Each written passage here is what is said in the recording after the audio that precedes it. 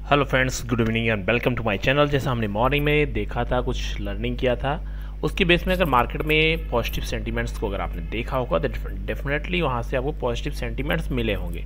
मैंने आपको स्पेशली बोला था कि मार्केट का अभी चेंज ओवर होने वाला है। आपको कॉन्टेक्ट साइज़ लास्ट वीक से मैं बोल रहा हूँ कि चेंज करने वाले हैं।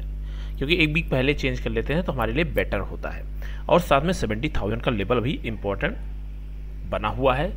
नीचे आएगा तो ये सपोर्ट का काम करेगा और ऊपर जाएगा तो रेजिस्टेंस का प्लस माइनस हंड्रेड पॉइंट लेके चलते हैं, क्योंकि ये साठ हज़ार, सत्तर हज़ार की रेंज पे अगर आप थोड़ा सा सौ पचास पॉइंट का नहीं लेके चलेंगे टॉलेंस तो उस वहाँ आपको थोड़ी प्रॉब्लम क्रिएट होने वाली है। सबसे पहले अगर आप नए हैं और फ़र्स्ट टाइम विज़िट कर रहे हैं तो एक बार मेरे चैनल को लाइक कमेंट सब्सक्राइब करें, साथ बेल आइकन दबाना मत भूलिए, आपको रेगुलर वेशिया वेशियन आंसर मिलती है। टेलीग्राम चैनल से जुड़ने के लिए आप मैंने डिस्क्रिप्शन बॉक्स में लिंक दे रखा है, यहाँ से आप जुड़ सकते हैं। इसमें मैं अपने व्यूज़ को पोस्ट करता रहता हूँ, क्या इसमें सेंटीमेंट और कैसे इसमें ट्रेडिंग स्ट्रेटजी बनने वाली है।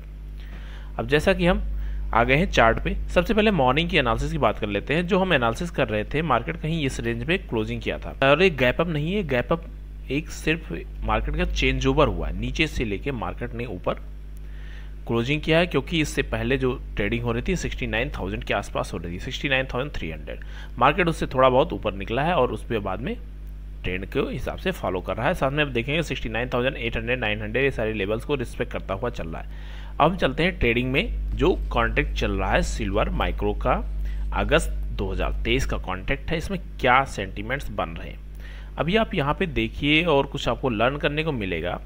जो मार्केट था उसने लगभग 200-300 पॉइंट इस कॉन्ट्रैक्ट से ऊपर किया और इसका सेम इम्पैक्ट वहाँ जाके हज़ार पॉइंट पे पड़ा क्योंकि यहाँ पे 69,000 के ऊपर ट्रेड कर रहा था वहाँ पे 68,000 के आसपास ट्रेड कर रहा था।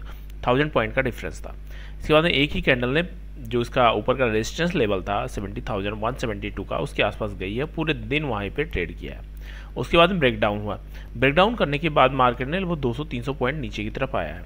लेकिन इसके साथ ही ये जो इसका लेवल था जहाँ पे मार्केट ने टाइम बिताया था, उसी लेवल पे मार्केट दोबारा से यहाँ से थोड़ा अपसाइड निकल रहा है। तो मैंने ऑलरेडी टेलीग्राम में पोस्ट किया है कि मार्केट के लिए सेवेंटी थाउज़ेंड का लेवल है, वो इंपॉर्टेंट रहेगा। इंपॉर्टेंट इसी बेस से था क्योंकि ये एक जोन का काम करने वाला था इसके लिए।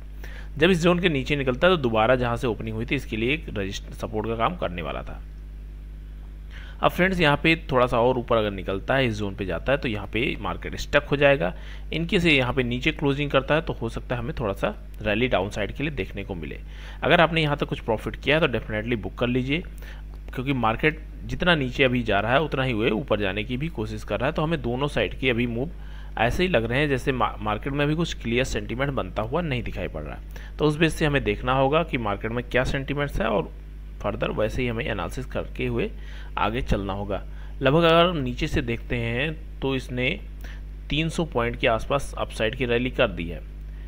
तो ऐसे मूव में हमें थोड़ा सा वेट एंड वॉच करना होता है कि कैसे सेंटीमेंट बन रहे हैं, कैसे में ट्रेडिंग करना है। अब हम फर्दर इसमें वेट करेंगे, नया ट्रेड नहीं लेंगे। अगर हमारा सेल साइड की अपॉर्चुनिटी हमने देख रखी थी तो हमारा स्टॉप लॉस यहाँ पे seventy thousand one seventy two के आसपास बनता हुआ दिखाई पड़ रहा है। आपको इसके आसपास यहाँ पे स्टॉप लॉस देखना चाहिए।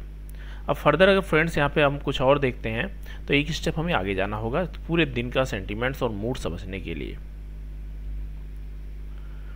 ओवरऑल मार्केट डाउन ट्रेंड में था।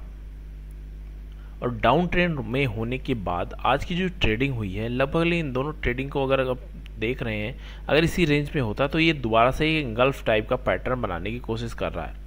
अगर फ्रेंड्स ये इंगल्फ टाइप का पैटर्न यहाँ पे बन जाता है तो दोबारा से आपको ये ओपनिंग के आसपास दिखाई पड़ेगा। अगर इन केस क्लोजिंग इस, इसी में हो जाती है लगभग सात से नौ बजे के आसपास पाँच बजे की कैंडल है नौ बजे तक चार घंटे हो जाएँगे इसको अगर इस पर क्लोजिंग होती है तो हम हो सकता है हमें डाउन साइड मूव मिले।